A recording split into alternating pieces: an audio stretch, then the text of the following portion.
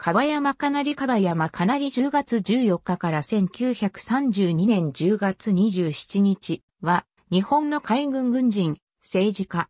属籍は、鹿児島県士族。元フィギュアスケート選手の八木沼淳子は彦である。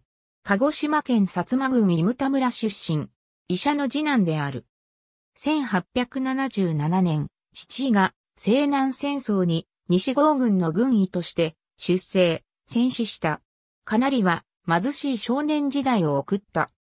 教科書を買う金がなかったため、友達から借りて書き写し勉強した。1898年12月、海軍兵学校を卒業し、1900年1月、海軍少尉任官。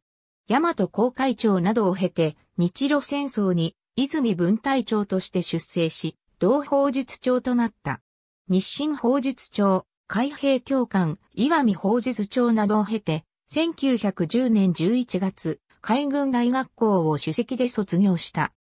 以前、鞍馬の各法術長、第二艦隊参謀、軍令部参謀、アメリカ駐在、カナダ駐在、鹿島副長、第三艦隊参謀、軍令部参謀などを歴任し、1917年12月、海軍大佐に進級。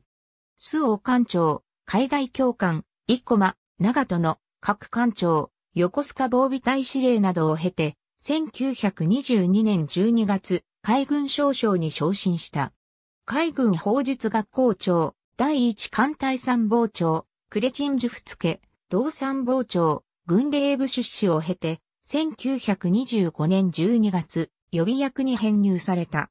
後、1929年7月から死去するまで、鹿児島市長を務めた。